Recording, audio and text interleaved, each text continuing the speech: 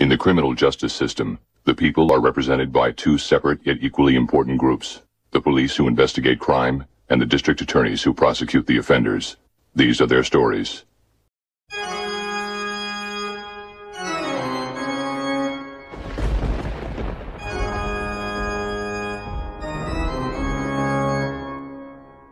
The last piece. You will reveal your secrets to me. Good lord, all this time it was a hot air balloon. Yes, sir. Just like the picture on the box. There was a picture. Well, that could have saved me months. Oh well, now I can get back to crushing unions, fouling the air, and garbaging the Pacific. Uh, uh, uh, sir, before you do that, maybe you'd like to try another puzzle? This one's a little harder. It's a hundred pieces, and uh, two of the unicorns look pretty similar.